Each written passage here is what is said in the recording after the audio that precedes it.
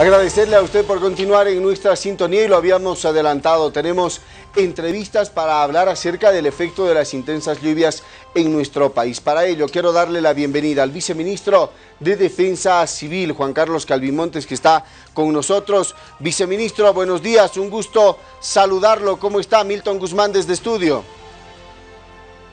Buenos días, Milton. Un saludo muy cordial a través tuyo a todo el pueblo boliviano. Muchísimas gracias, viceministro, por estos minutos. Por favor, arranquemos haciendo una evaluación, una actualización del número de municipios afectados, familias y también personas que hayan perdido la vida a raíz de estas inclemencias del tiempo, la intensa lluvia, especialmente en todo el país. Bueno, hasta el día sábado nosotros teníamos un registro de 60 eh, municipios afectados en seis, siete departamentos, más de 9.000 familias afectadas, más de 3.000 eh, hectáreas que han sido afectadas, alrededor de 4.166 distintos tipos de ganado que se han perdido, más de 380 viviendas que han sido afectadas, 80 han sido ya las que han colapsado totalmente. Tenemos 15 personas fallecidas, incluyendo las dos personas que las consideramos desaparecidas todavía, eh, las que han sufrido un accidente en la ribera del río Pilcomayo, en Tarija, en la provincia de O'Connor. Y hasta el día de ayer se han recuperado 70 personas en distintos operativos, personas que estaban completamente aisladas y que corrían en riesgo su vida en caso de que no eran evacuadas. Estas familias han sido evacuadas del municipio de Cabezas, Cuatro Cañadas y San Julián. Viceministro, ¿cuál es la zona los municipios en nuestro país de mayor riesgo, por favor?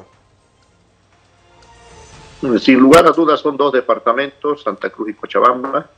En Santa Cruz los municipios que están prácticamente repletos de agua son Pailón, en su localidad Painas, que está un tercio de la población prácticamente bajo el agua. Hardeman, que es una población que está en el municipio de San Pedro, que está prácticamente casi el 80% de la población está bajo el agua. En Santa Cruz, si hay algo que remarcar negativamente, es que se ha perdido gran cantidad de las extensiones agrícolas. La producción agrícola está muy golpeada en el departamento de Santa Cruz.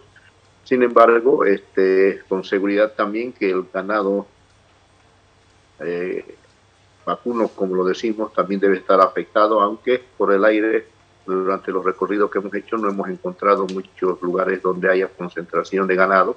al parecer, los propietarios han tomado las precauciones y han trasladado su ganado a lugares de altura, porque sí hemos encontrado concentración de ganado en lugares que están mucho más altos y que de una u otra manera, por, por lo pronto, están a salvo. Viceministro, durante este fin de semana se han realizado operativos para rescatar a personas de comunidades inundadas. Al promediar las 100 personas han sido rescatadas. ¿Cómo se ha realizado este trabajo, por favor, y en qué municipios? Han sido cuatro operativos los que se han realizado el día, el día de ayer domingo. Dos operativos ha realizado el ministro de Desarrollo Rural y Tierra, Remy González, con la finalidad de ir y verificar eh, el daño que se ha originado en la producción agrícola en, Santa Cruz, pero al mismo tiempo acompañado de eh, técnicos, no solamente del CEARPI, sino también técnicos de su ministerio para, y autoridades locales para ah, ver los lugares donde se tiene que hacer trabajo de contención de los ríos. En lo que concierne a defensa civil, nosotros hemos desarrollado también el día de ayer dos operativos de rescate directo, porque el día anterior hicimos un recorrido, como normalmente llaman en términos técnicos, un rastrillaje por todos estos municipios para identificar la posibilidad de encontrar eh, personas que estén aisladas. En, este, en estos dos operativos se han rescatado 48 personas y que sumados a los 22 que ya habíamos hecho en el, en el municipio de Cabezas, y en parte de los valles se han rescatado hasta ahora 70 personas en los distintos operativos. También es importante remarcar que ya en este trabajo de coordinación. También el Ministerio de Salud, a través del programa SAPSI Mi Salud, está interviniendo, llevando asistencia médica y los gobiernos municipales con defensa civil llevando alimentos a aquellas comunidades que han quedado aisladas. Viceministro, ¿qué tipo de alertas y en qué zonas se han declarado, por favor? Eh, alerta roja en el departamento de Santa Cruz. Esto lo ha declarado el CEARPI y CENAMI de manera que Santa Cruz en este momento se nos convierte en uno de los departamentos de atención, podríamos decir, de emergencia. Estamos con nuestras unidades militares en afronte. la unidad militar del Ranger de Montero ya se ha movilizado hacia el norte integrado por la zona, por el municipio de San Pedro. Y la policía militar se ha movilizado a la localidad de Pailas, donde se han instalado ya unidades de monitoreo permanente y el municipio, algunas regiones del municipio de Cochabamba, especialmente la zona del, del, Valle Alto y del Cono Sur, y el norte de La Paz todavía se mantiene en alerta roja. Viceministro, ¿existe un trabajo coordinado con autoridades departamentales, especialmente en Santa Cruz, tomando en cuenta que se ha declarado ya alerta roja? Bueno, nuestra coordinación en Santa Cruz hay que reconocer que es todavía débil con el gobierno departamental. Si bien se han venido desarrollando ya tareas de coordinación con el CEARPI para ver el tema del comportamiento de, nuestros ríos y nuestras cuencas, todavía en términos de coordinación con el, con el gobierno departamental es muy débil, con los gobiernos municipales sí estamos haciendo un trabajo con mucha, muy buena coordinación, y con el resto de los gobiernos departamentales la coordinación es permanente, lo mismo que con el resto de los gobiernos municipales con quienes sí hay una relación más directa y una coordinación mucho más fluida. Viceministro, ¿cuál es el pedido, la solicitud para el gobierno departamental? Hay varias denuncias de que solamente se estaría ocupando de lo que pasa en la ciudad de Santa Cruz de la Sierra y que se estaría descuidando los municipios de este departamento que es uno de los más grandes o el más grande que tiene nuestro país. ¿Qué se debe hacer? ¿Cuál es la recomendación y el pedido también para el gobernador para ir paleando estas necesidades que surgen a raíz de comunidades inundadas y problemas también en la producción que se tiene a raíz de las intensas lluvias? Primero, cumplimiento de la ley 602. Nuestra ley 602 y su reglamento, mm, que es una ley que eh, modula y regula la gestión de riesgo y la gestión de desastres, es una ley que da competencia a los distintos niveles del Estado y, los gobiernos departamentales, según la ley, tienen la obligación de coordinar con el nivel central ante la necesidad de más apoyo y de intervención con mayor uh, capacidad económica, logística técnica, etcétera, de manera que se debe dar cumplimiento a la ley.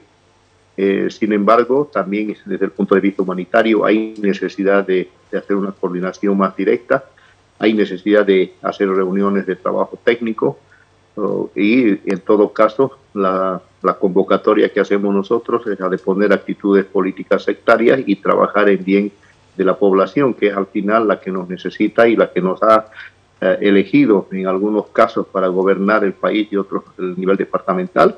Y a través de esta delegación nosotros estamos cumpliendo funciones eh, administrativas y tenemos nosotros la obligación del cumplimiento de nuestras leyes, de nuestros decretos, de nuestras normas esto es beneficio de la población boliviana.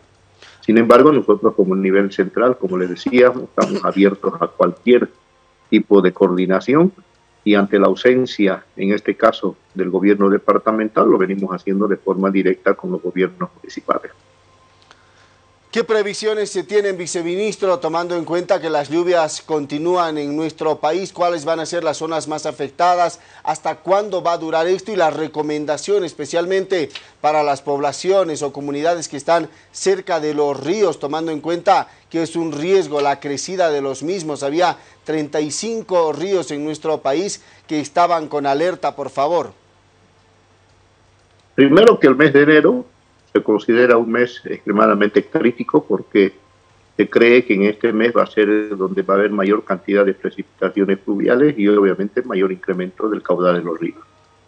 Eh, convocatoria a los gobiernos municipales a que activen sus unidades de, respuesta rápida, sus unidades de gestión de riesgo, mantener la comunicación permanente que lo tenemos, eh, manifestar también que ya nuestras Fuerzas Armadas están en afronte en todas sus unidades militares a través de los comandos estratégicos operacionales, donde también se puede hacer un nivel de coordinación para una respuesta inmediata. Eh, a la población que tenga cuidado, precaución, que empiecen a tomar ya las medidas preventivas ante cualquier eh, información que tengan del, del crecimiento de sus principales ríos, a los conductores que traten de manejar de forma más cuidadosa por las carreteras, que traten de evitar transitar en horas nocturnas, que cuando haya precipitaciones fluviales se parqueen en lugares seguros hasta que pase la lluvia, no arriesgar en lugares que ya se, consideran críticos en las distintas carreteras. Y por lo demás, este, manifestarles que hay un gobierno que está presidido por el hermano Lucho Arce, que está con condiciones de ayudar, ayudar, socorrer, pero al mismo tiempo asistir a todas las personas que se vean afectadas.